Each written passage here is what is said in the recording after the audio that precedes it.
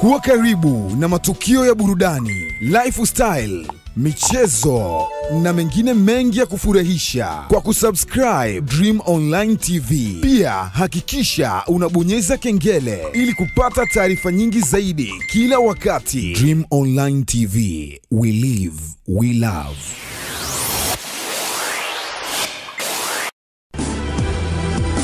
Kweli kwamba kumekuwa na vuta ni kuvute kati ya golkipa Beno Kakolanya pamoja na mwenzake Aish Salum Manula, ambako moja kati ya vitu vinavyosababisha kuingia kunako swala hili hata awali kabisa, wakati wa tetesi za usajili kati ya Beno Kakolanya kutua Simba, kulikuwa na uh, vuta ni kuvute za mashabiki wakizungumza hili na lile, lakini wakidai kwamba huenda uh, Salum Manula akawa amepata uh, mrithi sasa, lakini inaanza kuonekana kama uh, taswira za awali kabisa tangu uh, mchezo wa majaribio uh, mchezo wa kirafiki uh, kwenye Simba Day hakuonekana golini.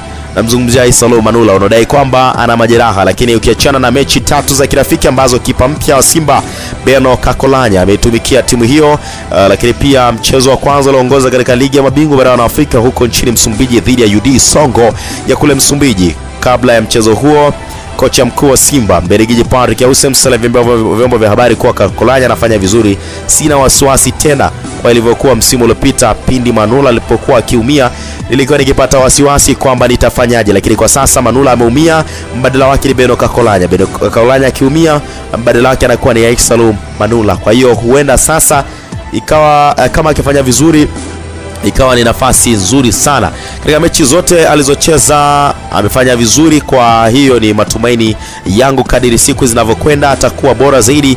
Anatoa changamoto kubwa kwa Manula kuhakikisha anakuwa bora zaidi yalivyokuwa msimu uliopita. Ikumbuke kwamba Manula kunako mchezo ya kimataifa aliocheza msimu uliopita, haswa michezo ya ugenini, michezo mingi ya ugenini aliruhusu goli, tofauti na alivyoanza mchezaji huyu, namzungumzia Beno Kakolanya ambaye kunako mchezo dhidi ya UD Songo hakuruhusu goli. Wanaondoka uwanjani dakika 90 zilizokamilika, Simba sufuri UD Songo sufuri.